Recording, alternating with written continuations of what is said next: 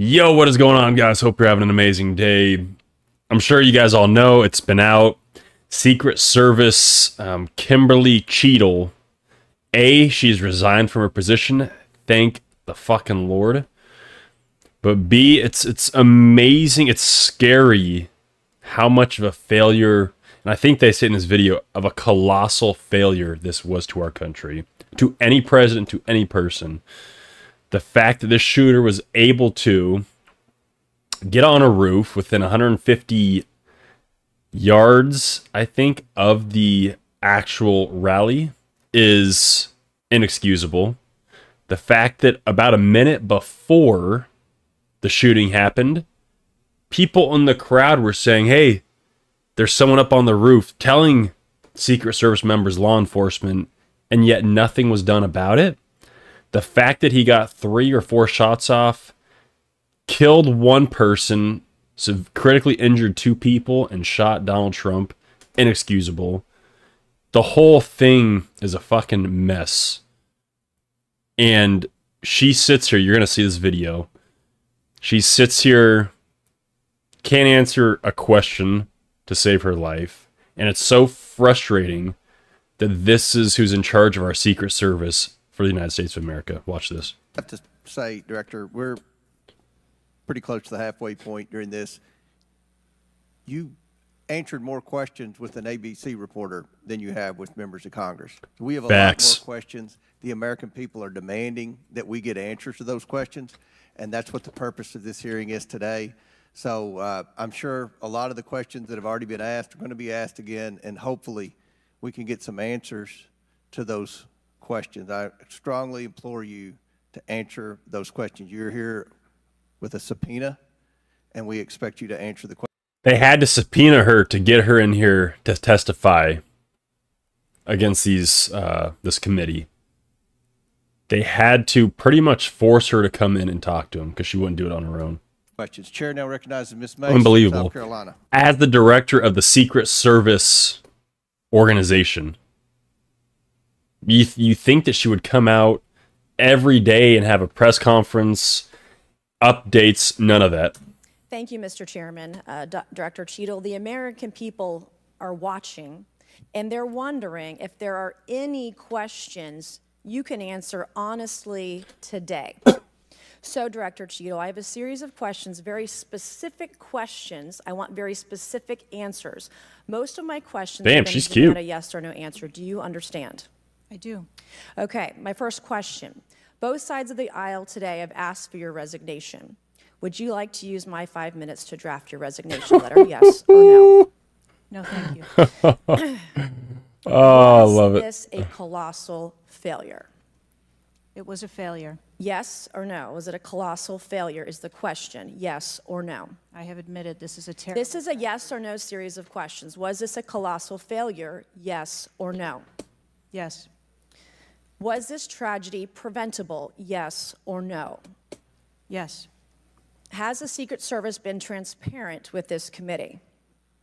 Yes. Would you say the fact that we had to issue a subpoena to get you to show up today as being transparent? Yes or no? I have always been Yes eager to or no? You didn't want to answer to the, committee. question. We had to issue It's a subpoena simple. to get you to show up today. Yes That is not no? transparent, by the way. You stated earlier Secret Service is not political. Is that correct? Yes. Okay. Would you say leaking your opening statement to Punchbowl News, Politico's Playbook, and Washington Post several hours before you sent it to this committee as being political? Yes or no? I have no idea how my statement got out. Well, that's bullshit. So, Mr. Chairman, I would like to ask unanimous consent to enter into the record articles by Punchbowl News, Politico Playbook, Washington Post, all uh, done at 5:24 a.m., 6:12 a.m., 6:34 a.m. Uh, a solid three to four hours before this committee got your statement. Without objection to ordered. Okay.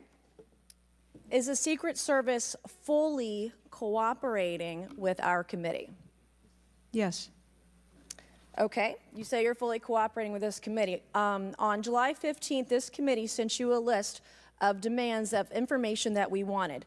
Has the Secret Service provided this committee a complete list of all law enforcement personnel that were there that day? Have you done that? Have you provided a list to the Oversight Committee? Yes or no? I will have to get back to you on that. That is a no. Have you provided all audio and Unbelievable. video recordings in your possession to this committee, as we asked on July 15th? Yes or no? I would have to get back to you. on That is a no. You're full of shit today. You're just being completely dishonest. Mr. Chairman, Oh, I love it. It's so she is full of shit. She can't answer a simple question because she hasn't done it. She has no idea what happened. She doesn't have a timeline. She is the director of Secret Services, and she doesn't know what happened, where people were. She's not aware of anything, which is scary. That that is who is protecting or supposed to be protecting our president.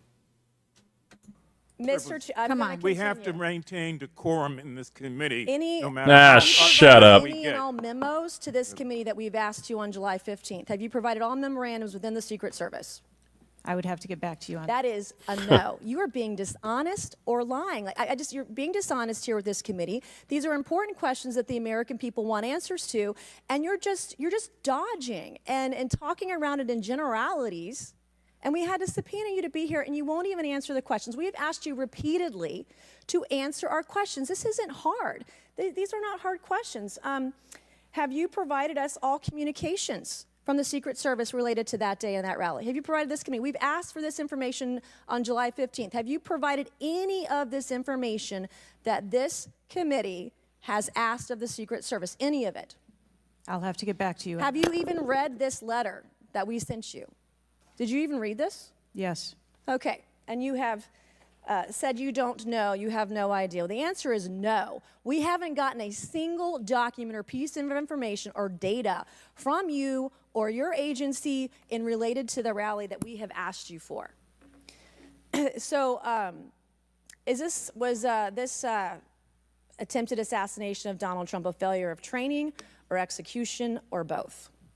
I think that those are answers that we need to Training, examine. ex- execution, or both? It's Which one? simple. I think Answer those it. are answers. All right, how many, uh, how many Secret Service personnel have lost their jobs due to this colossal failure?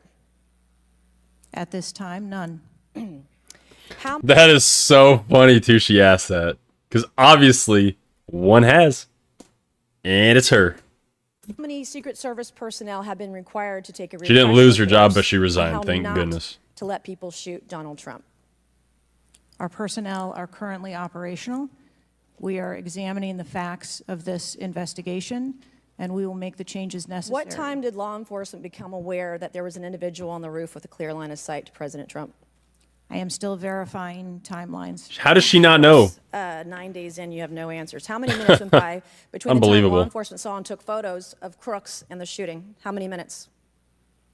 I am still verifying timelines. 57 minutes. No shit. Thank you, Mr. Chairman. Unbelievable. 57 minutes before the shooting happened.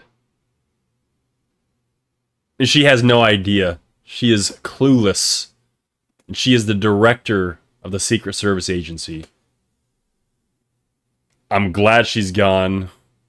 She needs justice now, too. Now that she's resigned, she needs to be charged with murder for the guy, the person that died, uh, for the other casualties. I mean, it is disgusting. It's infuriating, to be honest, that people like this are in charge of our country. That's all. Hope you have a good day. Later.